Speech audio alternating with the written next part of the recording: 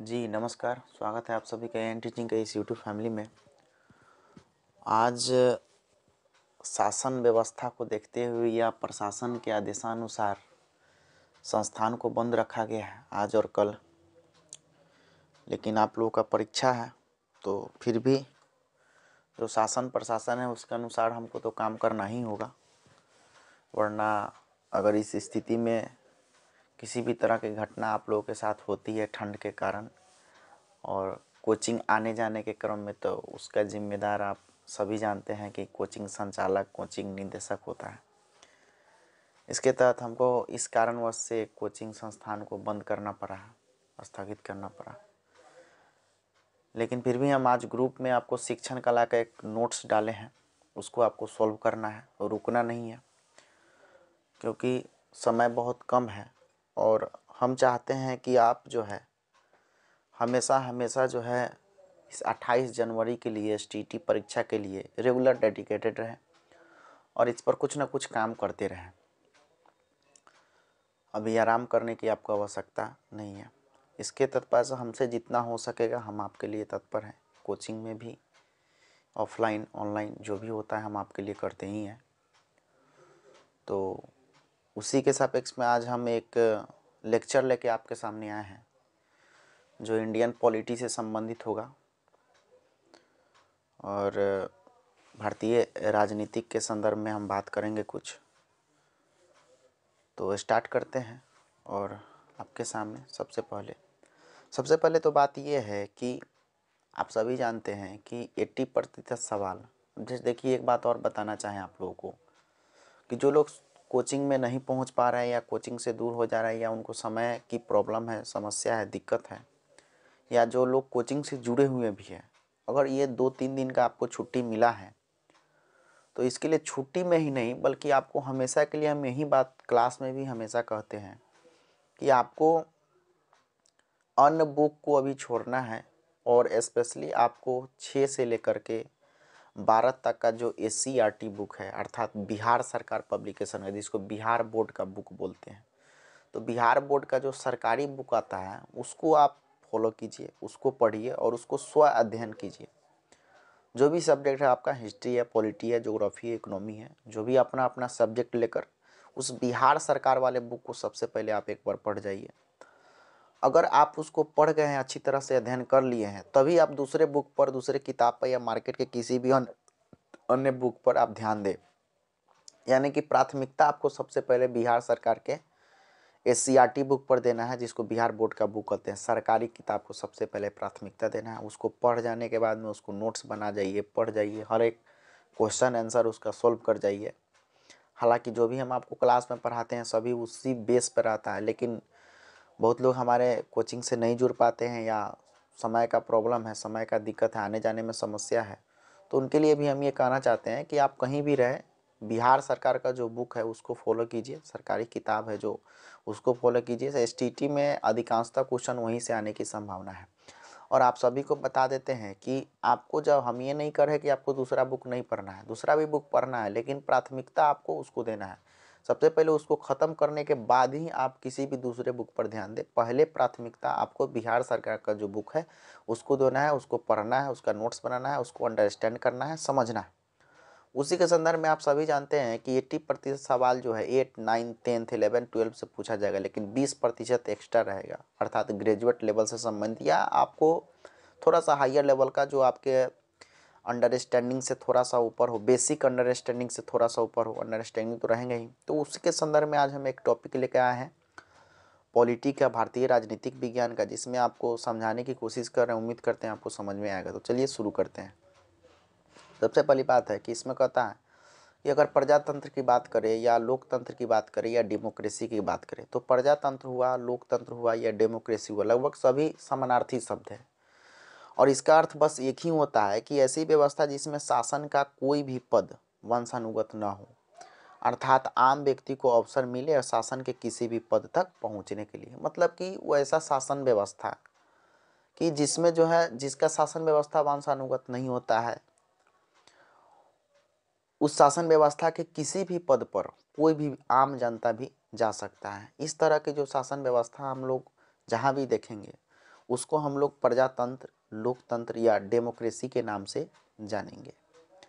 Democracy, प्रजातंत्र, लोकतंत्र ये सभी समानार्थी शब्द हैं। एक बार और समझाते हैं कि ऐसी शासन व्यवस्था जिसके कोई भी पद पर कोई भी आम व्यक्ति भी जा सकता है, अर्थात वह पद वंशानुगत न हो ऐसी शासन व्यवस्था को हम लोग प्रजातंत्र, लोकतंत्र या डेमोक्रेसी सिस्टम के अंतर्गत में रखते हैं। दूसरी बात आते हैं कि आप समझने की कोशिश कीजिएगा कि शासन व्यवस्था दो प्रकार के होती हैं। एक तो हो गया कि एक हरी शासन व्यवस्था और दूसरा हम कह सकते हैं अध्यक्षीय शासन व्यवस्था या अध्यात्मक शासन व्यवस्था। तो सबसे पहले समझते हैं कि ये एक हरी शासन व्यवस्था है क्या? एक हरी शासन व्यवस्था का मतलब ये हुआ यदि किसी राष्ट्र का शासन का केंद्र बिंदु एक हो, किसी भी राष्ट्र का शासन का जो केंद्र बिंदु है, वो एक हो, अर्थात एक ही स्तर की संस्था पूरे देश का शासन चलाए, वो एक हरी शासन व्यवस्था कहलाती है। मतलब कि एक ही स्तर की संस्था जो पूरे देश के शासन व्यवस्था को अंडर कंट्रोल कर रहा है, नियंत्रण कर रहा है, वैसे शासन व्यवस्था को हम लोग एक हरी शासन व्यवस्था के अंतर्गत में रखते हैं। वहीं जो है, आपको दूसरा हमारे सामने आ जाता है संघात्मक शासन व्यवस्था। उस समय सॉरी अध्यक्षात्मक बोल रहे थे वो अलग है। तो एक हरी शासन व्यवस्था और दूसरा है हमारे सामने संगठनात्मक शासन व्यवस्था। तो एक हरी शासन व्यवस्था का मतलब तो ये समझ गए कि उस शासन व्यवस्था में केवल पूरे देश या प्रदेश का शासन व्यवस्था केवल एक आदमी के हाथ में होगा। वो कहलाएगा एक हरी शासन व्यवस्था। दूसरा हमारे पास आता है संघनात्मक शासन व्यवस्था। तो संघात्मक शासन व्यवस्था में राष्ट्र के शासन का केंद्र बिंदु दो के हाथ में होता है। और दो हाथ कौन सा? एक तो होगा केंद्र और दूसरा होगा राज्य। अर्थात हमको यह समझ में आया कि एक हरी शासन व्यवस्था के अंतर्गत में केंद्र और राज्य का कोई ज़िक्र नहीं है। अर्थात शासन व्यवस्था को केवल एक ही लोग संभालेंगे, उसे हम एक हरी शासन व्यवस्था कहेंगे। और संगठनात्मक शासन व्यवस्था में क्या होगा कि इसमें दो जो है, दो मतलब दो का हाथ होता है, दो केंद्र बिंदु रहता है शासन व्यवस्था तो अभी तक समझ में आया हमको कि एकहरी शासन व्यवस्था क्या होगा और संगठनात्मक शासन व्यवस्था क्या होगा। एकहरी में पूरे शासन व्यवस्था को एक आदमी संचालित करेगा, एक हरी शासन व्यवस्था कहलाएगा और संगठनात्मक शासन व्यवस्था में उसका केंद्र बिंदु दो के हाथ में रहेगा, जिसमें केंद्र और राज्य दोनों सम्मिलित रहेगा। दूसरी बात आते हैं कि हम लोगों के सामने जो शासन व्यवस्था में जो प्रणाली होती है, वो प्रणाली भी दो प्रकार के। एक तो होगा हमारा अध्यक्षात्मक प्रणाली और दूसरा जो हमारा होगा, वो होता है संसदीय प्रणाली। तो अध्यक्षात्मक प्रणाली और संसदीय प्रणाली के बारे में थोड़ा सा समझने की कोशिश करते हैं। अध्यक्षात्मक प्रणाली क्या है? कि शासन का सबसे शक्तिशाली व्यक्ति का चुनाव अगर आम व्यक्ति पर सीधे तौर पर करता है, आम व्यक्ति सीधा तौर पर करे तो वहाँ पर जो शासन व्यवस्था होगा, उसको हम लोग अध्यक्षात्मक शासन प्रणाली के नाम से जानेंगे। अर्थात, जो शासन का सबसे शक्तिशाली व्यक्ति है, जैसे कि राष्ट्रपति हो गया तो राष्ट्रपति का चुनाव सीधे आम आदमी के हाथ में या प्रधानमंत्री का चुनाव सीधा आम आदमी के हाथ में हो। मतलब वो शासन संप्रभुता के सबसे जो सर्वोच्च व्यक्ति है, उसका चुनाव अगर आम व्यक्ति के द्वारा, आम जनता के द्वारा, जिसमें आम जनता प्रत्यक्ष रूप से उसको चुनाव में कार्यवाही में भाग ले रहा है तो वहाँ पर जो इस तरह की प्रणाली जो कहलाएगा, वही प्रणाली को हम अध्यात्मक प्रणाली के नाम से जानेंगे। दूसरा हमारे सामने ये है संसदीय प्रणाली। जैसे आपको एक उदाहरण आपको बता रहे हैं, जैसे अमेरिका में तो अमेरिका में जो राष्ट्रपति का चुनाव होता है, शासन का सर्वोच्च पद होता है राष्ट्रपति तो राष्ट्रपति का जो चुनाव वहाँ पर होगा, वहाँ पर राष्ट्रपति के चुनाव में लोग जो है, डायरेक्ट जो है, आम जनता जो है राष्ट्रपति के चुनाव में भाग लेता है, जबकि हमारे यहाँ ऐसा नहीं होता है। तो वहाँ पर कौन सी व्यवस्था है? अध्यक्षात्मक शासन व्यवस्था है, जिसमें सर्वोच्च शक्ति, जो सर्वोच्च पद पर जो व्यक्ति है, उसके चुनाव में आम जनता भाग ले ले अध्यक्षात्मक शासन प्रणाली कहलाएगा। दूसरा हमारे सामने है संसदीय प्रणाली। तो पहले लोकसभा, संसदीय प्रणाली जैसे हमारे यहाँ। संसदीय प्रणाली में क्या होगा कि जो सर्वोच्च शक्ति, शासन का सर्वोच्च शक्ति जिसमें निहित होता है, उस व्यक्ति का चुनाव हम आप नहीं कर सकते। उसमें हम आप भाग नहीं ले सकते। मतलब डायरेक्ट आम जनता उसमें भाग नहीं लेता। उसके लिए हम लोग क्या करते हैं कि अपना जनप्रतिनिधि यहाँ से भेजते हैं और वह प्रतिनिधि फिर जो है, जो बहुमत दल का नेता होता है, जो जिस जिस पार्टी को ज़्यादा बहुमत मिला रहता है उसको सर्वोच्च पद पर बैठाता है। अर्थात जैसे प्रधानमंत्री हो गया, राष्ट्रपति हो, जैसे राष्ट्रपति हो गया तो राष्ट्रपति का चुनाव हम आप नहीं करते या उसके चुनाव में हम आप भाग नहीं लेते हैं। तो हमारे यहाँ जो व्यवस्था है, वो संसदीय प्रणाली व्यवस्था है और अमेरिका में जो व्यवस्था है, वो हमारा अध्यक्षात्मक शासन प्रणाली की व्यवस्था है। संसदीय प्रणाली व्यवस्था यहाँ पर क्यों? क्योंकि यहाँ पर सर्वोच्च शक्ति जिसमें निहित होता है, उसका उसके चुनाव में हम आम जनता भाग नहीं लेते इसीलिए हमारे यहाँ क्या संसदीय प्रणाली व्यवस्था है। वहाँ पर राष्ट्रपति का जो चुनाव होगा, वहाँ पर आम जनता डायरेक्ट उसमें भाग लेता है, इसीलिए वहाँ पर अध्यक्षात्मक शासन प्रणाली की व्यवस्था है। अब हमारे यहाँ क्या होता है कि उसके बाद जैसे बहुमत दल का व्यक्ति, जैसे अब मान लीजिए कि हम लोग लोकसभा के जनप्रतिनिधि को यहाँ से भेजते हैं और उसमें जो बहुमत दल का पार्टी होता है, उसके संदर्भ में प्रधानमंत्री के पद पर उसको नियुक्त किया जाता है। जैसे भारत में इंग्लैंड में इंग्लैंड में भी आपको संसदीय प्रणाली व्यवस्था है, भारत में भी आपको संसदीय प्रणाली की व्यवस्था है। तो ये चीज़ आपको समझ में आया कि प्रजातंत्र, लोकतंत्र और डेमोक्रेसी क्या होता है? एक हरी शासन व्यवस्था क्या है? संगठनात्मक शासन व्यवस्था क्या है? अध्यक्षात्मक प्रणाली क्या है? और संसदीय प्रणाली क्या है? दूसरा हमारे सामने एक टॉपिक आता है, संविधान। कॉन्स्टिट्यूशन जिसको कहते हैं तो what is meaning of constitution Indian constitution अर्थात भारतीय संविधान का अर्थ। या सीधा सीधा हम लोग समझ लें कि संविधान का अर्थ ही क्या होता है। तो संविधान का मेन जो अर्थ है कि मतलब कानूनों का संग्रह ही समजोड़ विधान मतलब सब के लिए जो विधि विधान, जो कानून है, वो समान रहे, उसे हम संविधान के नाम से जानेंगे। अर्थात सीधा सीधा समझ सकते हैं कि कॉन्स्टिट्यूशन में आपको कानूनों का संग्रह होता है। जो भी नियम कानून है, वो सभी का संग्रह ही क्या कहलाएगा बताइएगा? संविधान कहलाएगा। जैसे मान लीजिए कि अब ये संविधान सभी गणतंत्र देशों के लिए ज़रूरत है। जो भी, जहाँ पर भी लोकतंत्र की व्यवस्था है, प्रजातंत्र की व्यवस्था है, डेमोक्रेसी की व्यवस्था है, वहाँ पर संविधान का एक कॉन्स्टिट्यूशन का होना ज़रूरी है और संविधान होते हैं दो प्रकार के। सबसे पहला जो है वो लिखित संविधान होगा एक और दूसरा हमारा अलिखित संविधान। लिखित संविधान वह होगा जिस, जो भी नियम कानून बनाया गया है, वो सभी जो है एक निश्चित दस्तावेज़ पर लिखा हुआ रहेगा। तो वैसे संविधान को हम लोग लिखित संविधान के नाम से जानेंगे। और अलिखित संविधान होगा कि वहाँ पर कोई लिखित दस्तावेज़ नहीं होगा। तो उस संविधान को हम लोग अलिखित संविधान के नाम से जानेंगे। जैसे हमारे भारत में जो संविधान है वो लिखित है या लिखित है तो लिखित संविधान है। क्योंकि जो भी नियम कानून हमारे इंडियन कॉन्स्टिट्यूशन का बनाया गया है, वो सभी कहीं ना कहीं एक्ट के थ्रू या अनुसूची या भाग के थ्रू लिखा गया है। इसीलिए हमारे भारत का संविधान क्या है? लिखित संविधान है। और कहीं कहीं का अलिखित है, जो कि पूर्वानुमान के आधार पर चल रहा है या निश्चित रूप से बदलाव किया जाता है उसमें। तो वहाँ पर कोई निश्चित दस्तावेज़ नहीं रहता है, वो अलिखित संविधान कहलाता है। जैसे लिखित संविधान में आपको उदाहरण दे रहे हैं भारत। तो भारत का संविधान जो है लिखित संविधान, और भारत का संविधान लिखित संविधान ही नहीं, बल्कि पूरे विश्व में सबसे बड़ा लिखित संविधान हमारे भारत का ही है, जिसमें सबसे ज़्यादा अनुच्छेद, सबसे ज़्यादा भाग सबसे ज़्यादा अनुसूची है। आप जानते हैं कि संविधान के मूल जब संविधान का संरचना किया गया था तो उस समय मूल संविधान में अनुच्छेदों की संख्या तीन सौ पंचानवे थी लगभग। मूल संविधान में अभी तो बढ़ गया है। अनुसूची की अगर बात करें तो बाईस, पहले जो है मूल संविधान में कितना था? आठ अनुसूची था। अब हो गया कितना? बारह। ठीक है तो ये सब बाईस भाग है। तो ये सबसे, विश्व का सबसे बड़ा संविधान है हमारे भारत का संविधान। और भारत का संविधान में लिखित संविधान है। स्विट्जरलैंड का संविधान अगर बात करें तो वहाँ पर भी लिखित संविधान है।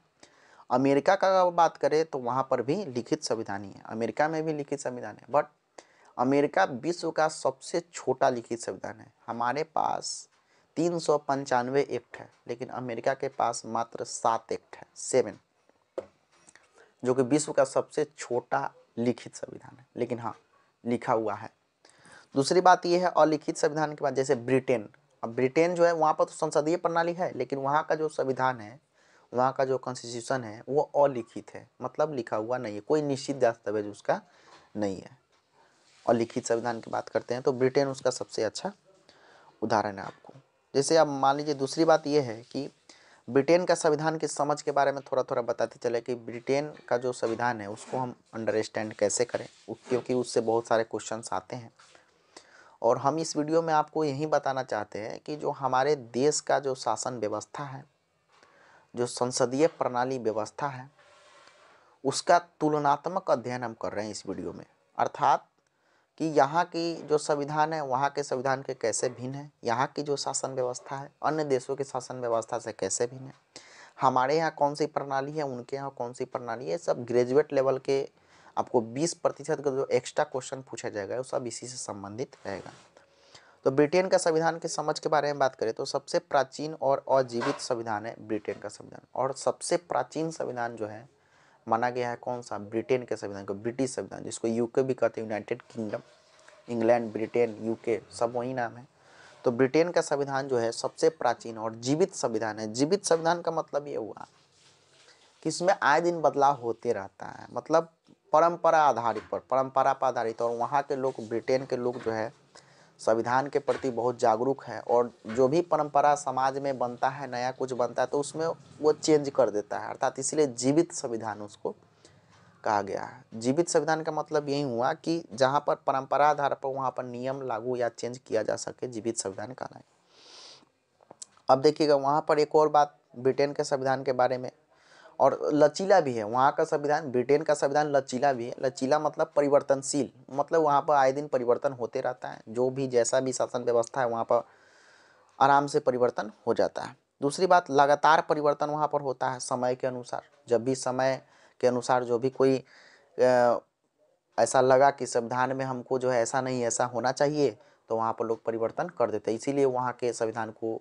जीवित संविधान के नाम से जाना गया।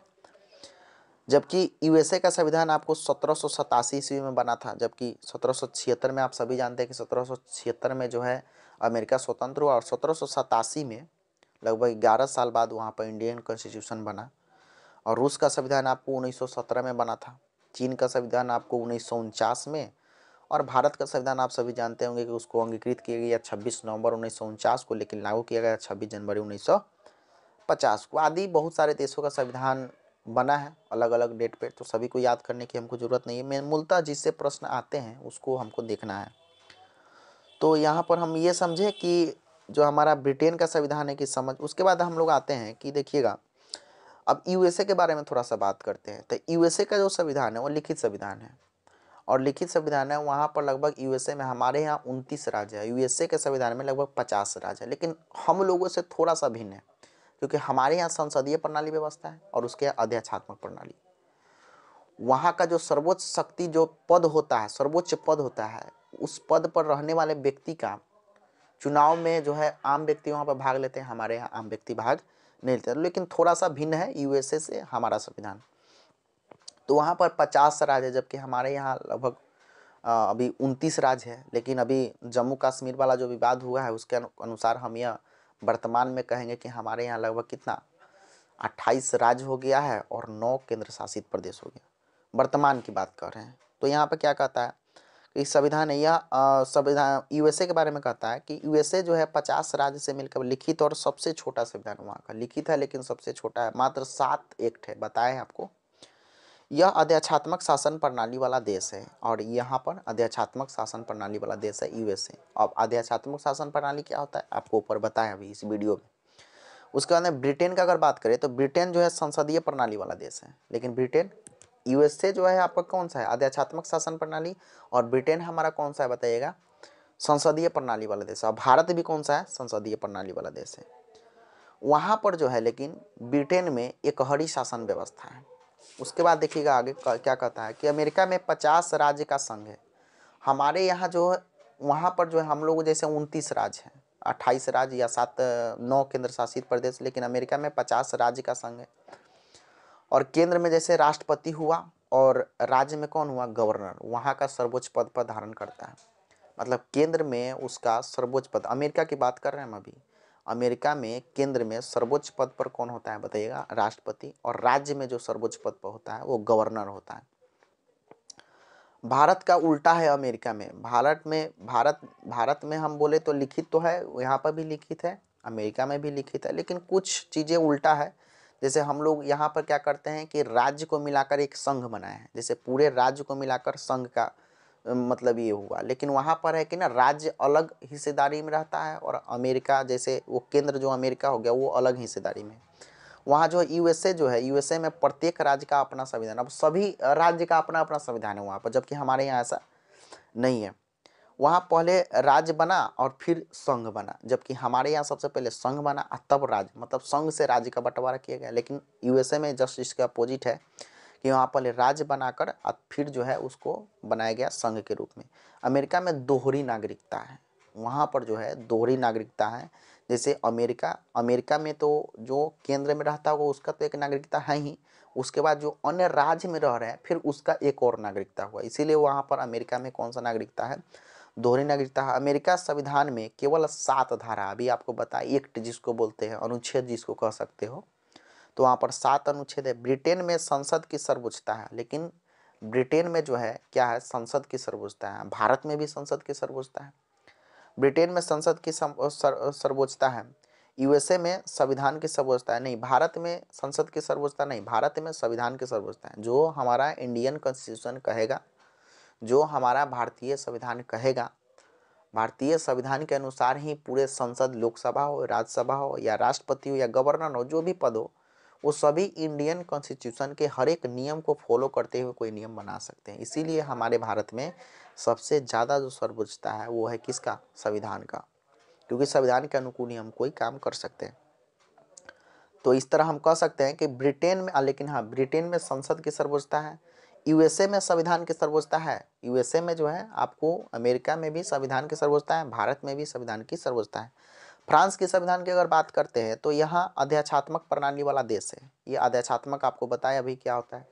स्विट्जरलैंड का संविधान की बात करें तो स्विट्जरलैंड ना ही ज़्यादा छोटा संविधान है वहाँ का और ना ही ज़्यादा बड़ा। छोटा मतलब यूएसए भी जैसा नहीं है। जैसे यूएसए में तो मात्र सातें, सात जो है एक्ट है। और बड़ा का मतलब ये नहीं कि भारत जैसा भी नहीं है कि भारत में बहुत सारा तीन सौ पंचानवे अनुच्छेद मूल संविधान में अभी तो बढ़कर चार सौ पैंसठ के लगभग वर्तमान में हो गया है। तो उतना बड़ा भी नहीं है, उतना छोटा भी नहीं है मतलब बीच बीच में का है स्विट्जरलैंड का संविधान और भारत के संविधान तो हाँ स्विट्जरलैंड का संविधान एक बात और कहेंगे कि अचल संविधान वहाँ पर, संशोधन नहीं होगा वहाँ पर। अचल संविधान है स्विट्जरलैंड का, वहाँ पर संशोधन करना बहुत मतलब संविधान में समय के अनुसार, स्विट्जरलैंड के संविधान में समय के अनुसार संशोधन करना बहुत मुश्किल है, क्योंकि वहाँ पर जो संविधान है, वो एक बार जो बना दिया सो बना दिया। उसमें चेंज करना बहुत मुश्किल लेकिन हमारे भारत के संविधान में चेंज करना या लचीला, हमारा भारत का संविधान जो वो लचीला संविधान है, उसको हम समय के अनुसार संशोधन कर सकते हैं। जैसे अभी सबसे पहले संशोधन उन्नीस सौ इक्यानवे में, इक्यावन में हुआ था 1951 में। तो उस उस समय से लेकर अभी तक बहुत सारे संशोधन हो चुके हैं। तो हमारे भारत के संविधान में समय के अनुसार हम संशोधन कर सकते हैं, लेकिन स्विट्जरलैंड में नहीं। तो इसलिए हम अपने भारत के संविधान को लचीला संविधान के भी नाम से जानते हैं। कॉपी हम्म। पेस्ट है हमारा संविधान। अन्य देशों के, अन्य देश का जो भी बात है, ब्रिटेन कुछ ब्रिटेन से, कुछ अमेरिका से, कुछ दक्षिण अमेरिका से, कुछ आयरलैंड से, अनेक देशों से जो है, जो हमारे ज़रूरत की चीज़ें थी, वो हमारे महापुरुषों ने उनमें सबसे बड़ा हाथ अगर बोलेंगे तो बी आर अंबेडकर, भीमराव अंबेडकर। उन्होंने भारतीय संविधान को लिखने का काम किया। तो उन लोगों की भागीदारी इसमें है। तो इस तरह से हम कह सकते हैं कि हमारा संविधान भारत का संविधान लचीला है। लचीला संविधान है। कॉपी पेस्ट है। अपने ज़रूरत के हिसाब से कुछ चीज़ें अन्य देशों से हमारे यहाँ लाया गया है। लेकिन विश्व का सबसे बड़ा लिखित संविधान हम इसी को कहेंगे। उम्मीद करते हैं ये चीज़ें समझ में अभी तक हम लोगों ने क्या क्या समझा, एक बार रिविजन करते हैं। प्रजातंत्र, लोकतंत्र डेमोक्रेसी सभी समानार्थी शब्द हैं, ठीक है? और बताए थे यहाँ पर कि ऐसी शासन व्यवस्था जिसमें कोई भी पद पर, अगर आम व्यक्ति भी उस पद पर जा सके तो वैसे शासन व्यवस्था को हम लोकतंत्र, प्रजातंत्र, डेमोक्रेसी के नाम से जानेंगे। एक हरी शासन व्यवस्था में बताया कि आपको जहाँ पर शासन व्यवस्था का मालिक केवल एक हो, वहाँ पर एक हरी शासन व्यवस्था संगठनात्मक केंद्र और राज्य दोनों मिलकर करेगा, वहाँ पर संगठनात्मक अध्यात्मक प्रणाली आपको बताए संसदीय प्रणाली आपको बताए, संविधान का अर्थ बताए। संविधान कितने प्रकार के होते हैं? लिखित, अलिखित। लिखित में बताया सबसे बड़ा कौन सा? भारत का। जिसका निश्चित दस्तावेज़ होता है, लिखित संविधान करता है। अलिखित का सबसे अच्छा उदाहरण दिया आपको ब्रिटेन का, जो प्राचीन, सबसे प्राचीन माना गया है ब्रिटेन वाला और उस जीवित संविधान कहा गया। जीवित संविधान क्यों कहा गया? अभी बताएँ क्योंकि समय के अनुसार उसमें चेंज हो सकता है। ठीक है? और उसके बाद भारत के संविधान के बारे में हमने अभी बताया कि भारत का संविधान हमारा लचीला है, समय के अनुसार उसमें हम संशोधन कर सकते हैं, किसी भी तरह की बदलाव कर सकते हैं।